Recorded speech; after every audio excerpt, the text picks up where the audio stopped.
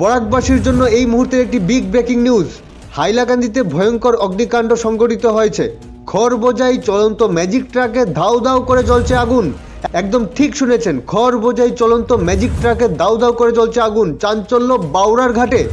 ঘটনার বিবরণে জানা গেছে যে সোমবার বিকেল আনুমানিক দুটোর সময় লালা থেকে হাইলাকান্দি অভিমুখে আসা A S two five C C three four six seven নম্বরের ম্যাজিক ট্রাকটি, আবার বলছি, গাড়ির নম্বরটি হচ্ছে A S two five C C three four six seven নম্বরের ম্যাজিক ট্রাকটি হাইলাকান্দি শহরের উপকণ্ঠ বাউরার ঘাটে বাইপাসে আসার পর একটি বৈদ্যুতিক তারের সংস্পর্শে এই অগ্নিকাণ্ড সংঘটিত হয়েছে বলে জানা গেছে।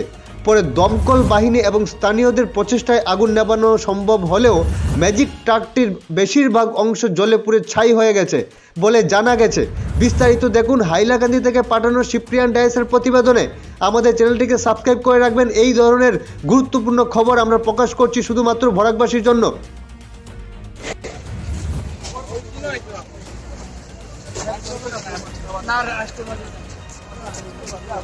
ও